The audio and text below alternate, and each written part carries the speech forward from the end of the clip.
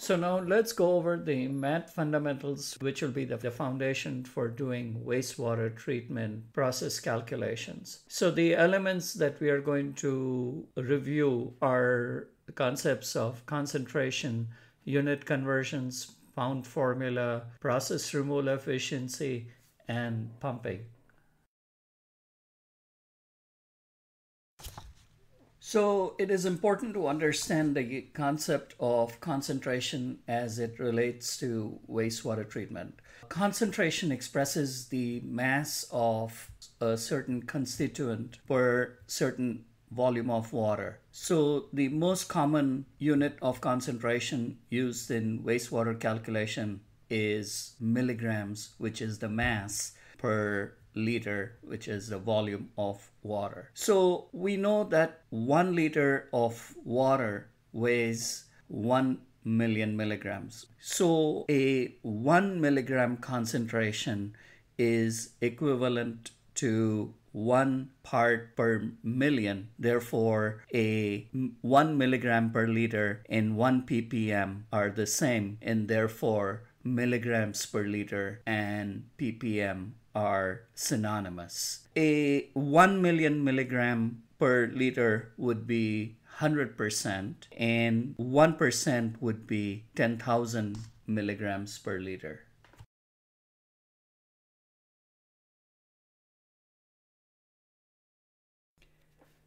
The Pounds formula is the most widely used formula in the wastewater treatment uh, calculations. It correlates mass loading in pounds per day. Here, note that the unit is mass in pounds per day. The concentration, which is in milligrams per liter. Also, to note here is that the concentration has to be expressed in the units of milligrams per liter if the concentration is in a different unit, say as a percentage, the formula will not work. And finally, the flow needs to be in MGD. So the formula is mass loading in pounds per day equals flow times concentration times 8.34. So with this particular formula, instead of mass loading, which is in pounds per day, we can calculate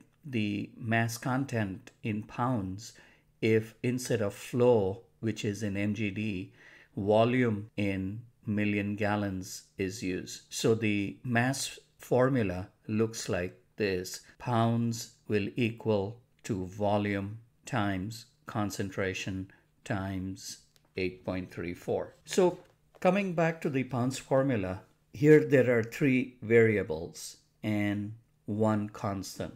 So if any two of these variables are known, the third unknown can be calculated. So this is a visual aid for the pounds formula and this can be used as a reference for calculating the unknown variable. So the top of top half of the circle which is the pounds per day is equal to the product of the elements in the bottom half. That is the pounds formula, correct? So if pounds per day and concentration are the known variables and I want to find flow, flow equals pounds per day divided by 8.34 times the concentration. Likewise, if pounds per day and flow values are known, concentration can be found by this formula, which is concentration equals pounds per day divided by flow times 8.34. So as we have pointed out before in the pounds formula, the pounds formula can be used for calculating the mass content if volume is used instead of flow. Unit conversions. It is very important to understand the method to convert a measurement in a certain unit to another unit. To do a unit conversion, first make sure the original and conversion unit is measuring the same parameter.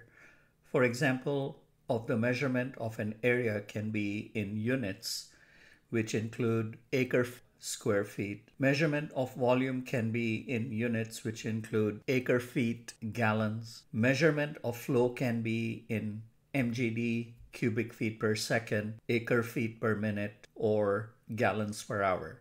So, in order to convert a measurement into another unit, which is the quantity in converted unit, multiply the quantity in original unit by the conversion factor, which is the value of converted unit per the original unit. The original units cancel out, giving the measurement in the converted unit.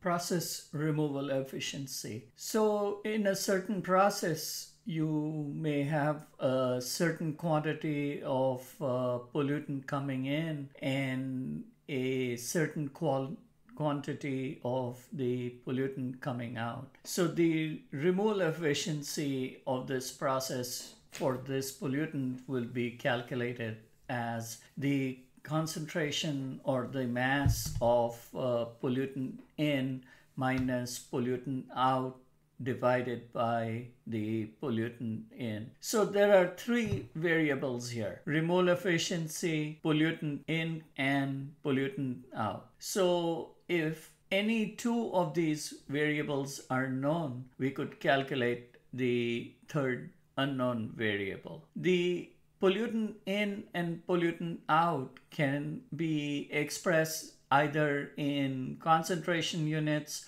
or mass units, which may be in pounds or pounds per day.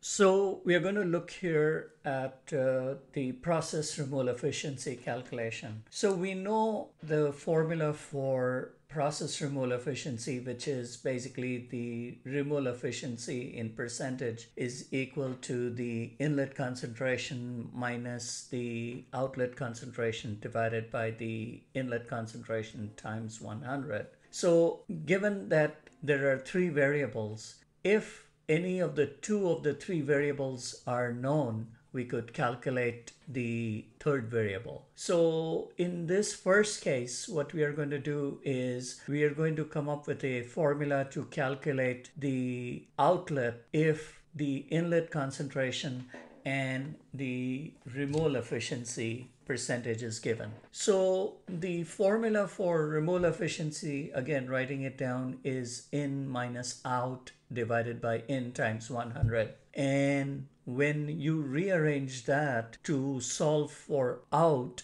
what you get is out equals n times 1 minus removal efficiency divided by 100. In the second case, if the inlet concentration is to be calculated knowing the outlet and the removal efficiency percentage. Again, the removal efficiency formula can be rearranged to calculate the inlet concentration, which equals to the outlet divided by 1 minus the removal efficiency divided by 100.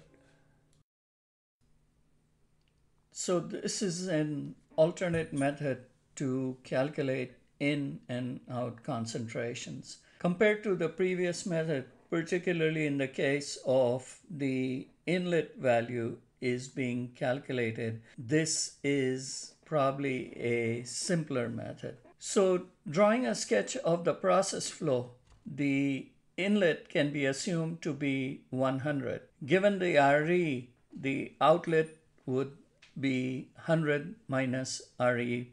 So when calculating out given in and RE percent, write down the equation as out over in, the unknown out being the numerator here. So this is equal to the out over in when the n is 100. From this equation, the out can be calculated. Likewise, when calculating in given out and RE percent, write down the equation now as in over out as the inlet is unknown in this case. So this is again as before equal to in over out when in is 100. So from this equation, the in can now be calculated.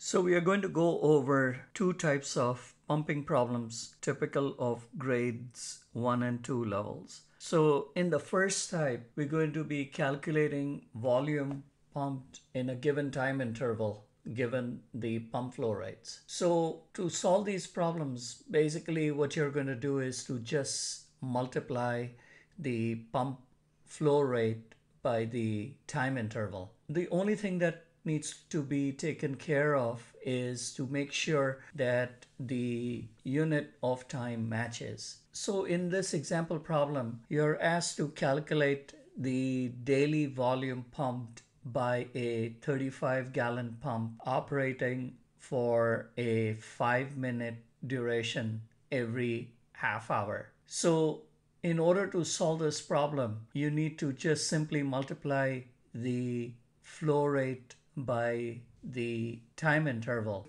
And the time interval is 5 minute every half hour. So you're not just going to multiply 35 gallons per minute times 5 it the time interval is 5 minutes every half hour. So it's 5 minutes every half hour times 24 hours per day. That when multiplied with 35 gallons per minute will give you 8400 gallons per day so in this second type of pumping problems, you're calculating the time to pump a certain volume given the pump flow rate. So in this type of problems, uh, typically you first calculate the total volume to be pumped and then followed by dividing the total volume by the pump flow rate. So in this case, you need to again make sure that the volume units, which is the volume that needs to be pumped and the pump flow rates match and also the time unit in the pump flow rate needs to be converted to the time unit that you need the answer in. Uh, an example of uh, or examples of uh, these problems is provided in the handout so to make sure you study them to understand the concepts here.